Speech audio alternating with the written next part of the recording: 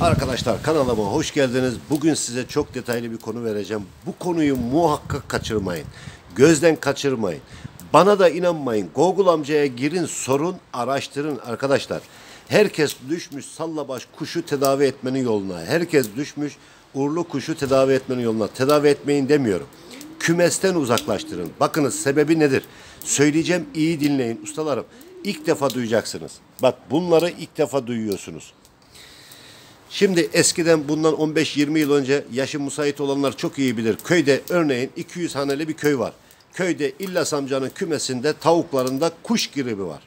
Bakınız devlet o köye geldiği zaman bir benim tavuğumu, hindimi, horozumu değil bütün köylünün tavuk, hindi, horoz, keklik ne varsa toplayıp poşetlerin içine, çöp poşetlerin içine koyup kireçleyip çepçeyle kuyu açtırıp topluca gömerdi. Canlı canlı topluca boğarak gömerdi. Sebebi ne biliyor musunuz? Neslin devamlı devamlılığı için bir İlyas'ın kümesinde değil, köydekilerin tamamını rızk altında olduğu için toplar alırdı. Şimdi kümesinizde bir tane sallabaş kuş var. Herkes düşmüş bunu iyi etmenin yoluna. Yok dedemden kaldı. Dedesi ölmüş gitmiş dedesine bir Fatiha okumuyor. Ama kuşunu hatırlıyor nedense. O nesil devam etmesi gerekiyor. Yani o kuşun nesli devam etmesi gerekiyor. Hayır kardeşim öyle değil. Sallabaş, eser, eser geçirme, sallabaş, dönbaş, titrek kafa bunlar salmonella kaynaklı kısmi felçtir.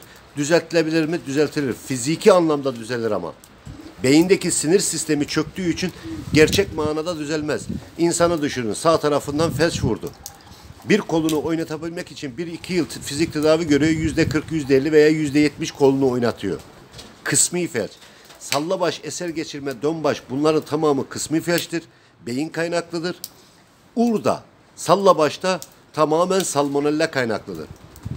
Bunları kümesinizden uzaklaştırmanız gerekiyor arkadaşlar.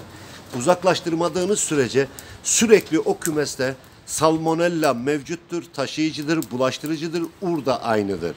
Bunları uzaklaştırın. Bakacaksanız ayrı bir kümeste bakın.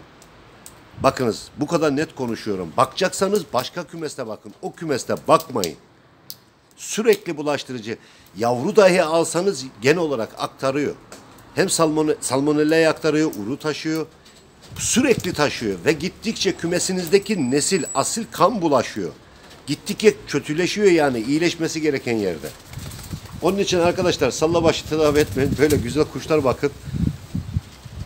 Buna boğma diyorlar. Çok sevdiğim bir kuş. İzmir'den geldiler bunlar bana. Bir sonraki videoda görüşmek üzere. Umarım konuyu anlamışsınızdır.